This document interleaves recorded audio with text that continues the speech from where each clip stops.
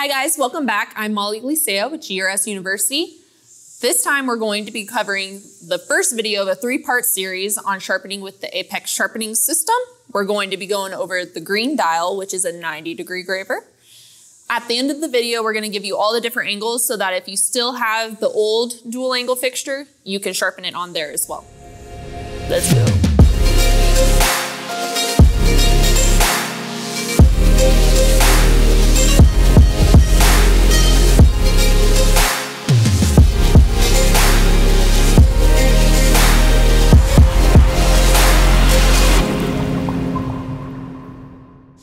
Guys, welcome back. Today we're going to do video one of a new three-part series covering the Apex wheels.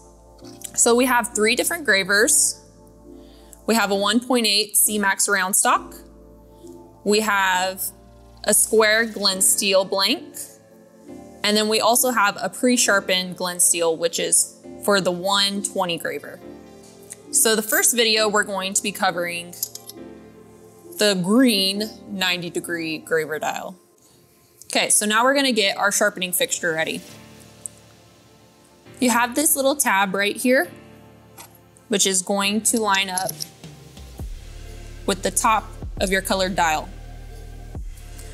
And then your tab indentation on your QC tool holder is gonna slide right onto this tab here.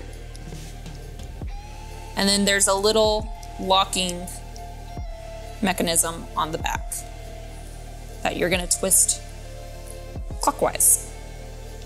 So the first step is either going to be sharpening your reshape or your face. I like to do the face first. It's just personal preference. I find that I can see, um, make sure that my reshapes are symmetrical a little bit easier this way. So we're gonna tighten that down with this knob right here. And then you'll see that it references you're sharpening the face. And then it has this number right here that says 55. That refers to the tool post angle. So we're gonna go ahead and move this to 55. These are in five degree increments. Tighten this down. So now we're ready to sharpen. This is magnetic, so you can slide it wherever you need. And then I'm starting with the 180 grit wheel. Just slide it on the post.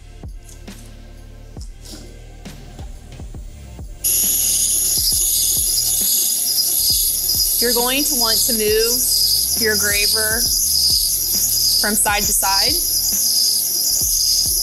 This just keeps from damaging your wheel, putting a gouge in it or creating some sort of rut.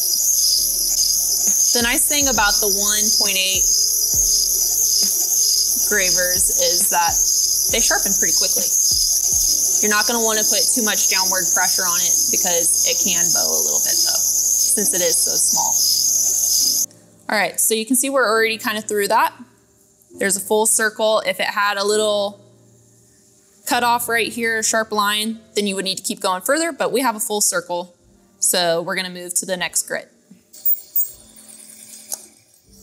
Okay.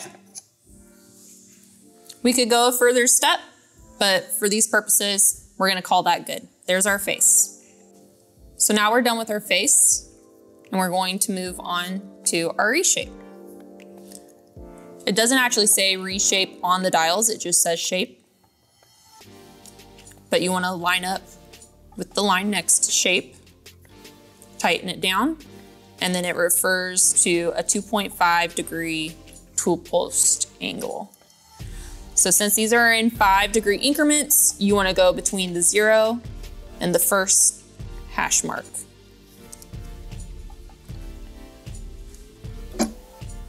And I'm gonna go back to my 180 wheel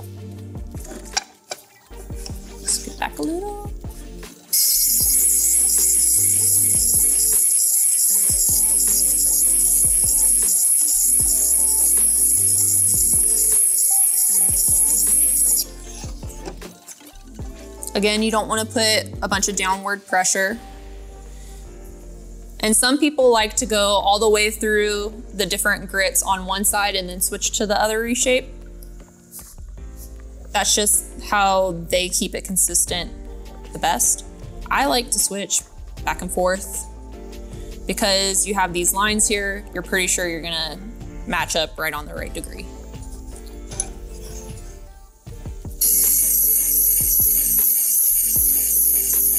And then I don't have to switch between all the wheels so much. So while we're doing the reshape, we just kind of want to watch that these are the same length. And when I say length, I'm referring to this right here. This also still has a flat spot, so I know I need to go further on both sides. Okay, so now we're done with our reshape. It's nice and symmetrical. So now we're going to do the heel, which is always the last step. And this one refers to a 15 degree tool post angle. Some people also call this the lift. Um, you'll see different heel angles.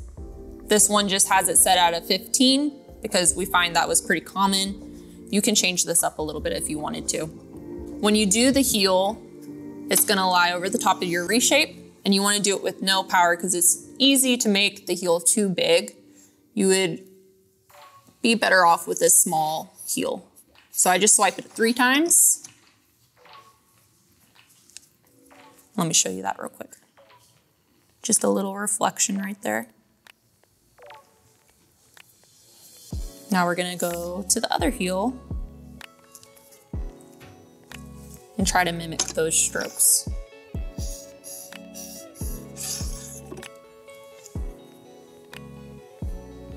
And I'm just making sure that they line up in the middle and are the same length down on the graver. And it looks like they are. So this graver is ready to use. Go engrave. Have fun, guys.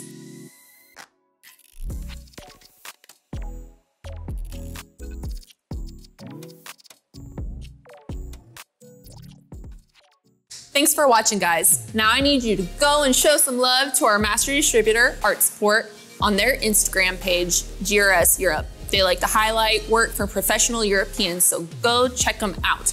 Then, if you would like to be our next suggested Instagram user, tag us at GRS Tools. Then like and subscribe on all of our social media. Throw those comments down below. We really want to know what you want to see. Come back later. Thanks, guys.